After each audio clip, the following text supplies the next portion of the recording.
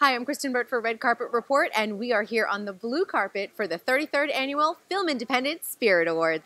Hi, good to see Hi, you. thank you. The last time we saw you, it was at the Eddie Awards, Oh, yeah. and you won. I did. I did. Maybe you're my good luck charm. Maybe that's it, since we're the day before the Oscars. Exactly, yes. How are you preparing, like psychologically, nerve wise? Because I've got to imagine it's just a lot of excitement.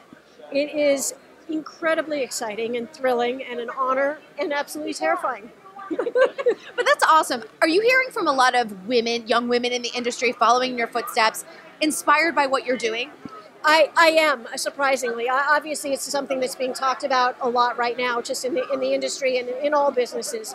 Um, and I'm eh, here today and at the Oscars tomorrow. I'm the only woman nominated in editing in, in, for both awards.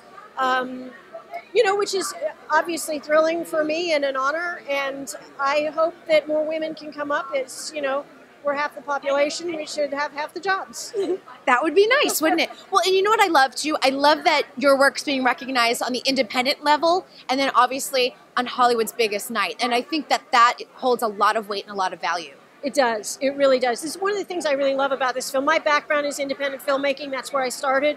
Um, and I've done studio films, obviously, and now we got to do this, which was really an independent movie and had all of those advantages, meaning creative time, creative space, uh, supportive people, and always going for what's best for the movie. Um, and I think a wonderful film came out of it. We had we had the creative, you know, space, which was lovely.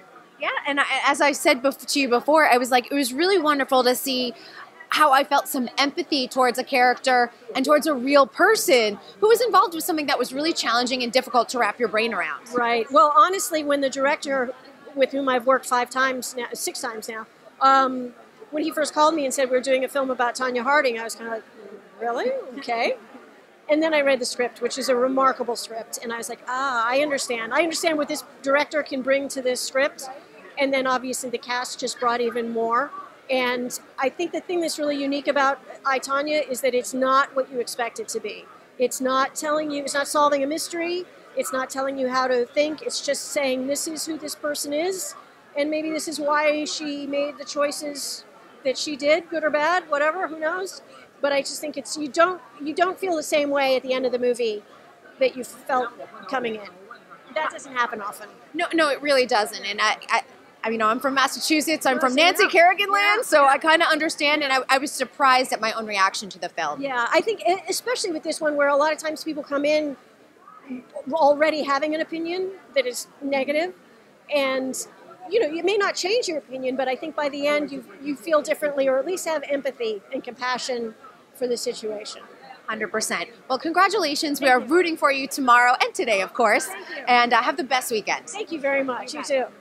Thanks for watching. Be sure to subscribe to our channel, like this video, and in the comments below, let us know what your favorite independent film of 2017 was.